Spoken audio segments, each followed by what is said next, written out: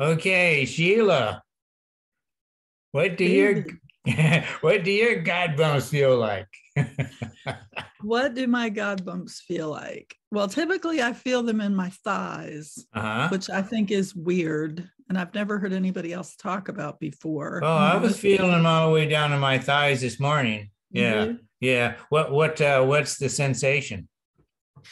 Well, and now the word that I use is effervescence mm-hmm. because the effervescence, the bubbliness when you drink a soda and how that feels on the tongue and in your mouth, that's how it feels inside of my thighs. And I have gotten them elsewhere. Like I may feel them on my arms or the back of my neck something but that's more rare for me mostly it's it's in my thighs uh-huh. and it's very specific it only lasts for a few seconds uh-huh. it's nothing i can control and i never know when it's going to happen but i but it makes me pay attention when it happens i've been getting keener and keener about when it happens mm-hmm. to to just in that moment just take that instant to be really aware, keenly aware of what I'm saying, what someone else is saying to me, or what the experience is. Like you've said, when you're listening to music, right, and you feel that, mm-hmm. what's the line in the music now? Or what's the, um, is, is it a C note, a, a G note? You know, what what is it about that music yeah. in that piece, right? Because it's not usually the whole song. It's one second, mm-hmm. you know, or two yeah, seconds. Yeah. There, right? But it's almost going. like it wakes you up, right? It yeah. just wakes you up. It's an acknowledgment, mm-hmm. right? Like, yeah. Hello. Yeah.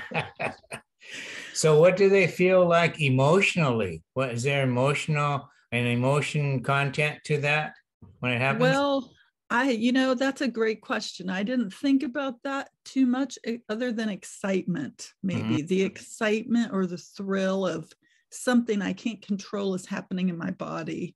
And now that I have more academic knowledge about it from reading your book and all, right, too, it's helped me to put more context around it so that I think I know what's happening. I may be completely wrong still, but at least I have a little more framing around it, right? So then I think that probably raises that level of excitement or thrill because it's like something external is coming into my internal and it's stirring up something, even though mm-hmm. I may not really exactly know what that is. Yeah. Okay. So, um, have you ever thought about uh, trying to invoke them, you know, for no reason except just at will? Yes, but not, uh, I've not had much, I, I don't even know if success is the right word to use, but I've not seen that happen or felt that happen as mm-hmm. much that's um because typically when i meditate i'm i'm going into a different state anyway and i'm less aware of what's going on with the body. Mm-hmm. okay. So yeah. So uh, how often would you say that you get these god bumps um well, I've been getting them more and more for sure. Um, I first started getting them, or that I became aware that I was getting them maybe like in 2005 and 2006. Mm. So, and back then it was really rare. You know, it, mm. might have been once a year, you know, a couple times a year that I even were, was really aware of them. Mm-hmm. and now it's, it can be once a day it may be two or three times a week. Mm-hmm. It's very sporadic. Mm-hmm. Okay.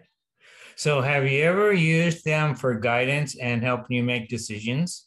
No, but I want to. I really do.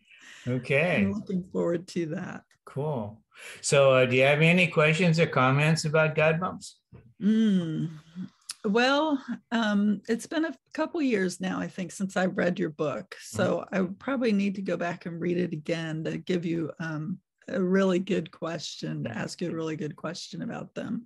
But I'm I'm I think right now in the last couple years I've just been gathering information like how many people feel these, what do they feel, and like you've asked me how often do you feel them, and I only recently even thought about. I think you're the one that brought it up to me using them for guidance, you know, and then mm. Bruce Lipton echoed that mm. as well in his answer, right? To yeah. lean into when you feel them, use that. Um, mm-hmm. but that whole thing about going with the flow and going where your God bumps lead you is still very new to me. well, thank you so much, Sheila. That's really helpful. This is a, a very beneficial, yeah, to uh, to share this with with folks. thank you, David. Yes, I think just the awareness of it, right, is the is a really good place to start. I guess we've got to start there, right? If we're not yeah. aware of them, it's just yeah. like any other feeling. Yeah. yeah. Okay. Thanks again. So beautiful. Thank you so much.